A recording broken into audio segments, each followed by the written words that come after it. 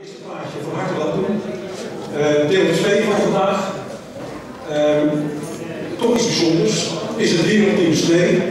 Maar het is toch, vinden wij zelf, de moeite waard om er aandacht aan te geven. En alvorens het verhaal te doen achter de twee ordelboeken die daar liggen, wil ik graag welkom heten. Brigadier Bart van der Weijden van de Leidse politie, daar staat hij. Hij is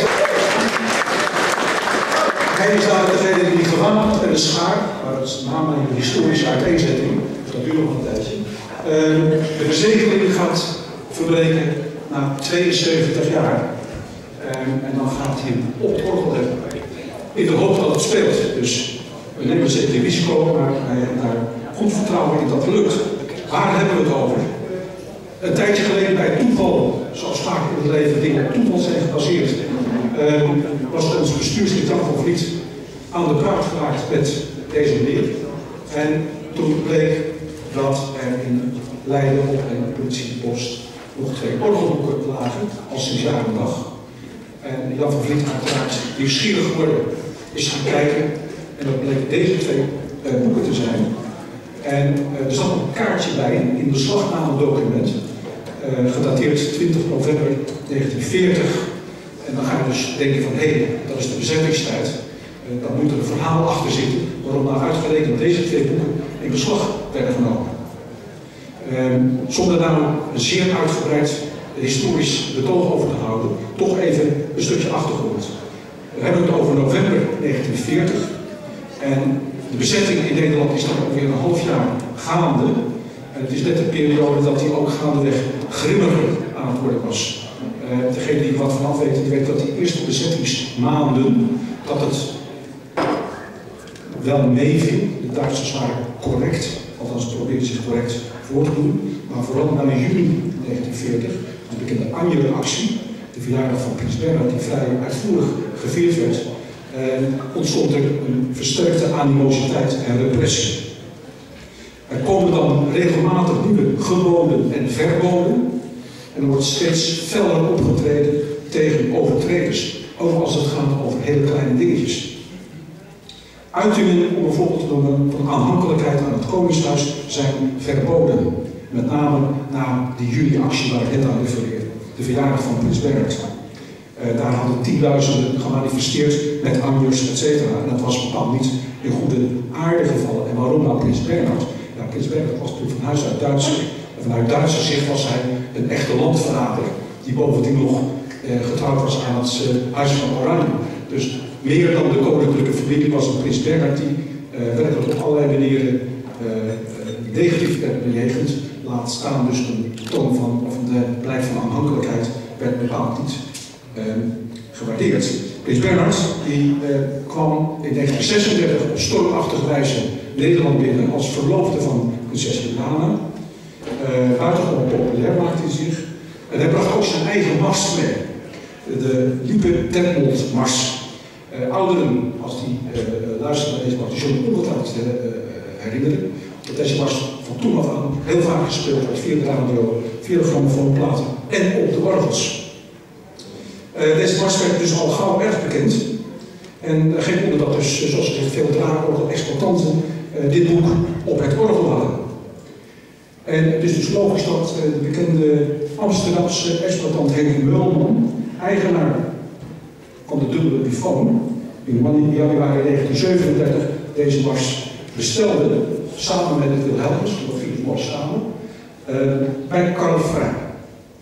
Uh, en het leuke van het verhaal is nu dat dankzij, ik kan zeggen, verbluffend speurwerk van Rijn Schenk, uh, de originele factuur van deze levering achterhalen was. En op het tafeltje daar ziet u een kopie van die originele factuur van die twee boeken. Januari 1937 en waarom nou januari 1937? Dat was de maand van het huwelijk van Bernard en Juliana. Met andere de oranje gekte was toen op zijn hoogtepunt. En logisch dat elk orgel per se de Libertadmars moest hebben. Ja, en dan krijg je dus uh, die bezettingstijd en dan wordt dus alles anders. En beide nummers, zowel de Helms als deze mars, werden in de banden gedaan en mochten niet meer ten gehoor gebracht worden. Wat er nou precies gebeurd is op die 20 november uh, 1940, dat weten we niet, is ook niet meer te achterhalen. Maar ze zijn in beslag genomen en wij denken dat er twee mogelijkheden zijn. Dat of de boeken in beslag zijn genomen bij de routinecontrole, want de boekbestanden werden regelmatig gecontroleerd. Of het was, eh, commissie denk ik, een heter taartje, uh, dat ze toch wel gespeeld werden, maar dat ze toen uh, waarschijnlijk met hulp van oplettende aanhangers van de nieuwe orde uh, ter plekke in beslag zijn genomen. Op het in beslagname document, het originele vindt u op de tafel, vinden we naast de datum de naam van, het, van de, van de orgelexploitant, zeker de heer Slagwijn.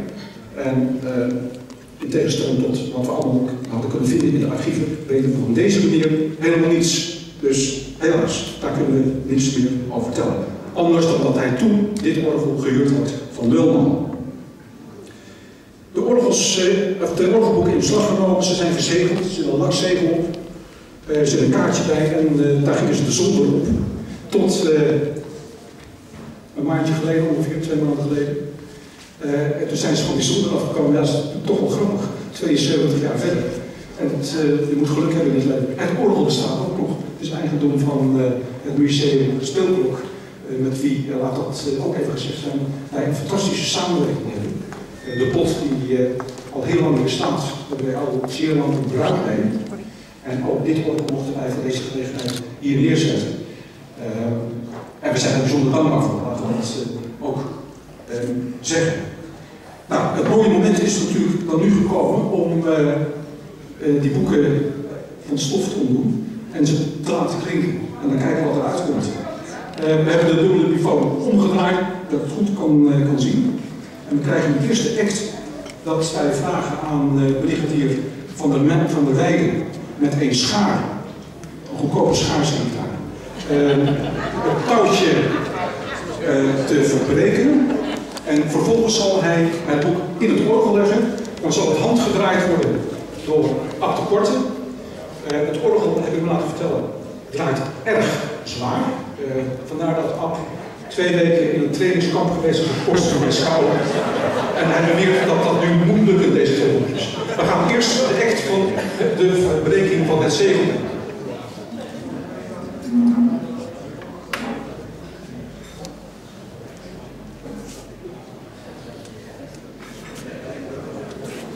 Ik denk dat wij beginnen met het Wilhelmus. Pap, ga je gang?